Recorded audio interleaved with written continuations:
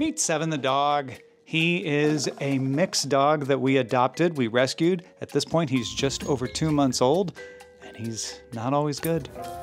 Not always wanting to do what we want. We need to keep this little guy's mind engaged. That's why we bought Nina Ottosson's Dog Worker Treat Puzzle.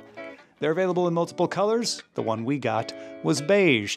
Has lots of places for you to hide treats, has things for the dog to move around to keep it challenging, and those little holes mean you can load the treats easily yourself. It goes into your playpen area, wherever your dog is, and then the dog has to try to figure it out himself. Here's Seven, the smart dog, very quickly figuring it out. Some dogs may not actually figure it out right away, so they have instructions for how to get them going. Thankfully, with Seven, though, he caught on and started sniffing out the treats, and it really engaged him. He really did understand that he had a puzzle that he had to figure out.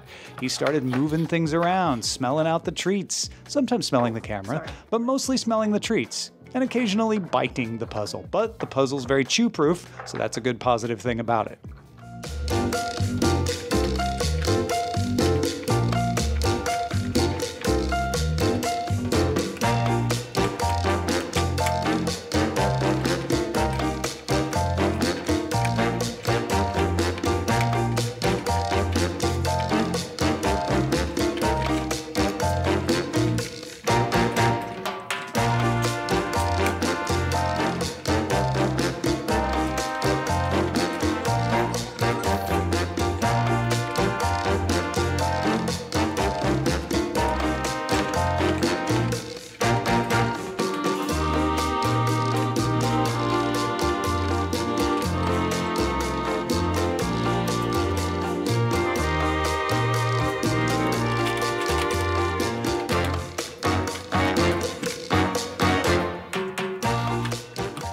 I'd say it kept him engaged maybe 20 minutes the first time.